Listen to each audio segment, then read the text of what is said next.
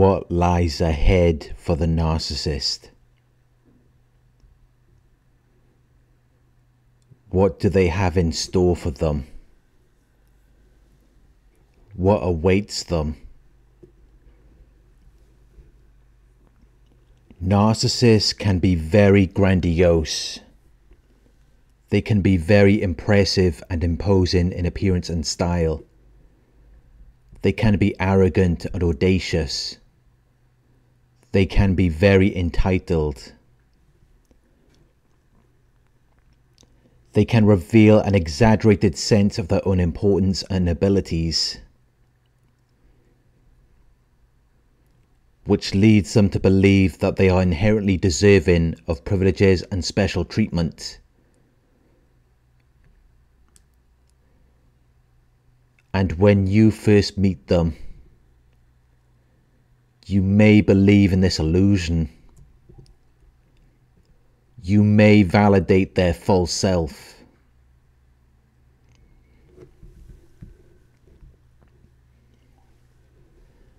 But as time goes by,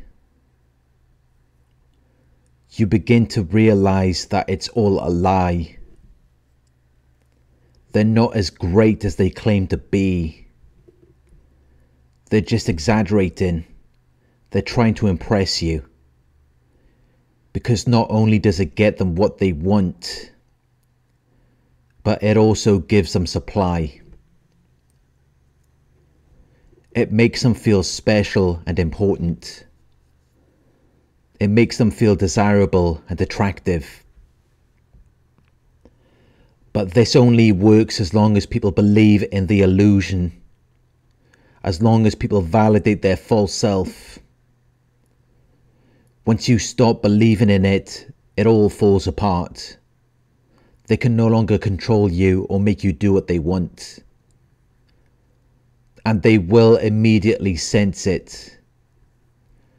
They will notice that you no longer believe in the illusion. They will notice that you no longer validate their false self. And that is when they will discard you.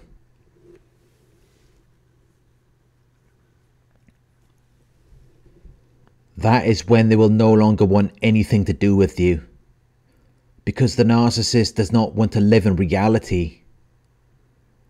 They only want the fantasy.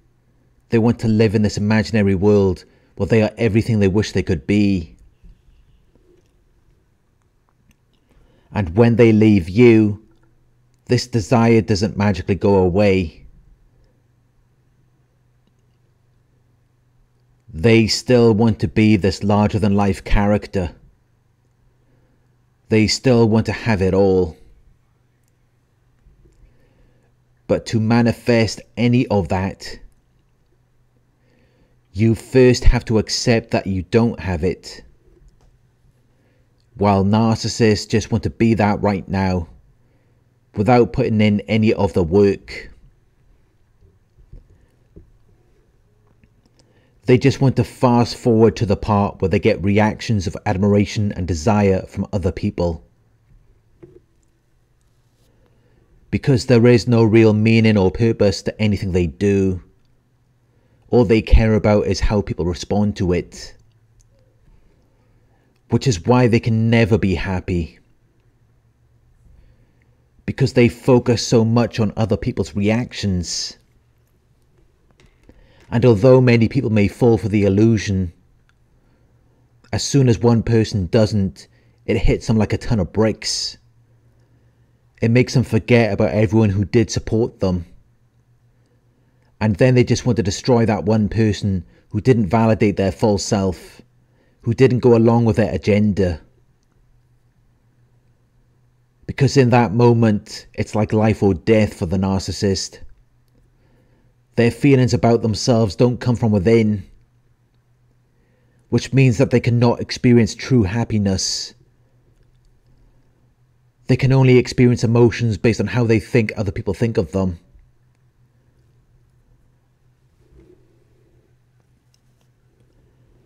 Many YouTubers who talk about this may say that what lies ahead for the narcissist is nothing but difficulties and problems And while there may be some truth to this,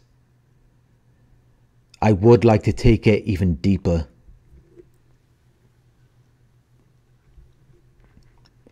There are times when it seems like the narcissist is happy. There are times when it seems like they're having a good time.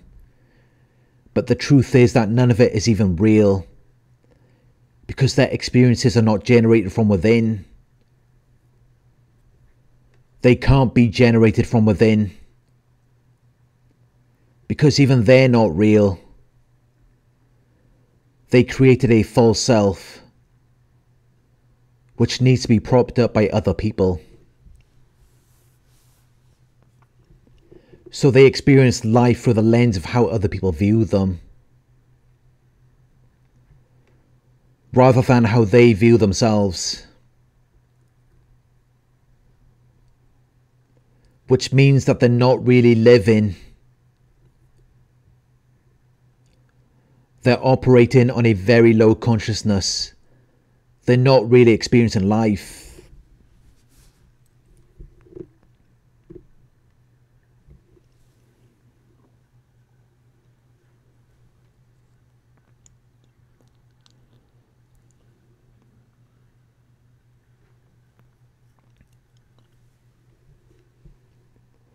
What lies ahead for the narcissist? Narcissists experience conflict with almost everyone they deal with. There's always something that needs to be resolved. Nothing ever goes smoothly. They deceive everyone they meet. They lie to them. And at some point, people figure them out. They realize what they're doing. And then they want nothing to do with them because they realize they've just been conned they realize they've been taken advantage of and they don't want to be their fool anymore. They want to take back control over their own lives by no longer being involved with them. So, as time goes by, people will abandon the narcissist. They won't want anything to do with them.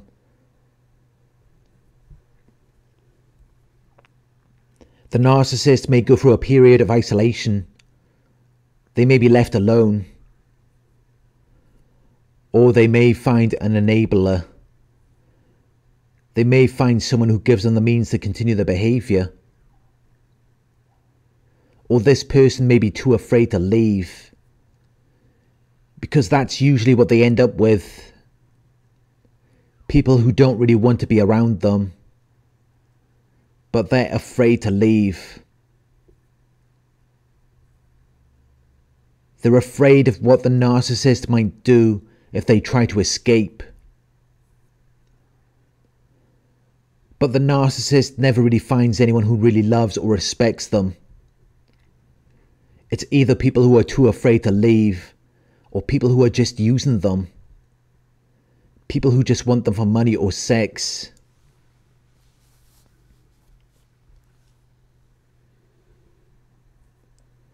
The narcissist created a false self because they wanted to feel valued and respected, when that was the very thing that stopped them from ever receiving that. Because how can anyone ever value or respect a con artist? Someone who lies to you. Someone who intentionally tries to deceive you. So, in the end, all they end up with are people who are too afraid to leave or people who are just as fake as them because anyone who really loves and values themselves is not going is not going to want to deal with them. They're not going to put themselves in a position to be disrespected. Because that's all the narcissist is going to do. They don't value themselves. So they cannot value you. Which is why the best thing you can do is just to leave them alone. Walk away and focus on your own life.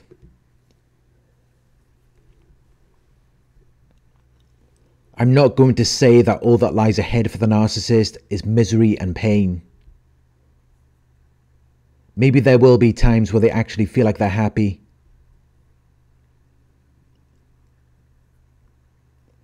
But it isn't real. It's all a facade. It's an outward appearance that is maintained to conceal a less pleasant or credible reality. They're just doing everything they can to escape how they really feel, which is actually the very thing that would set them free. Narcissists are broken, damaged people who will do anything to appear whole and complete. When the irony is that the first step to them being that which they seek is to confront the fact that they are broken. If they would just do that, they would be fine. But they don't because it's too painful for them to deal with. They have too much pride and arrogance. They're too lazy. They don't want to do the work. And they don't think that they should have to.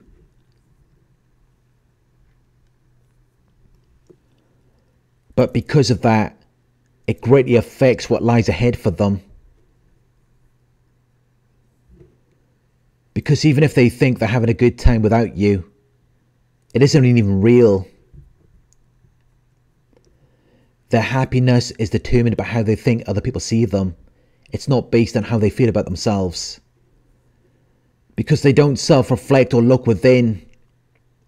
They live from the outside in rather than the inside out which means that all they can experience are other people's realities. Which is why their identity is just a concoction of different people that they have seen in magazines or on TV. Because they're not really living, they're not really alive, they're just imitations. It's like a simulation of life.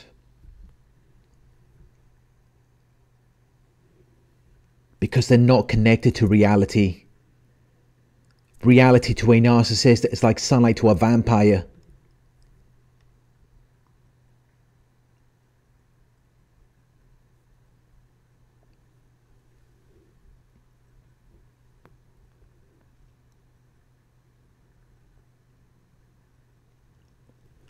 What lies ahead for the narcissist? What do they have in store for them? what awaits them.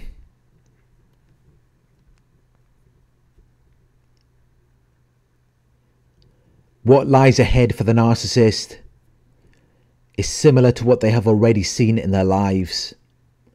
More problems and difficulties, more stressful situations which, which they struggle to deal with. And while it may seem like there are moments of happiness or peace, it isn't real.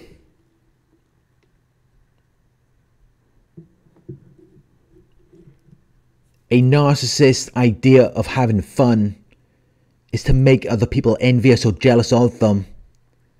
That's what gives them satisfaction.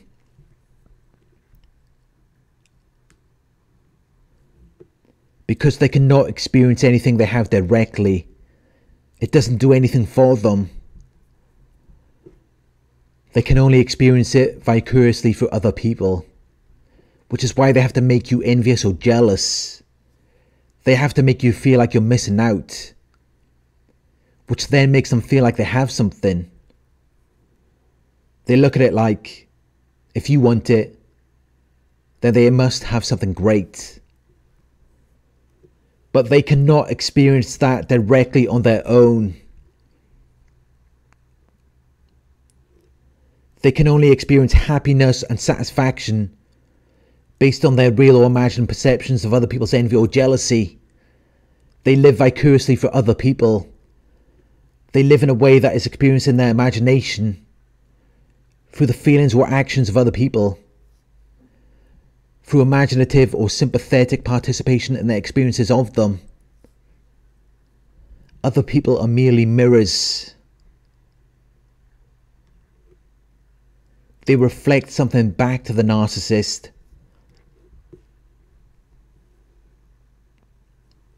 Which is why there's never any real human connection.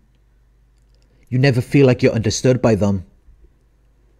And you have difficulty understanding them.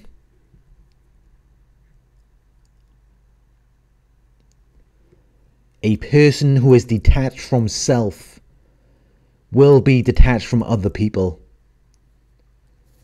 But they watch how other people interact and they mirror their behavior. That's how they create the illusion.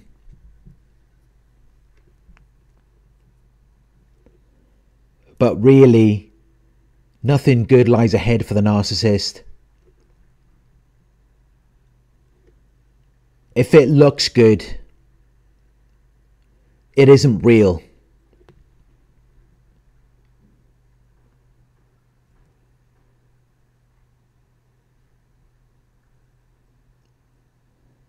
Thank you for watching. I hope this video resonated with you. Please like, comment, share and subscribe. If you would like to donate, my PayPal link is in the video description. Coaching inquiries, you can email me at coaching at narcsurvivor.co.uk. Thank you for watching and I'll talk to you soon.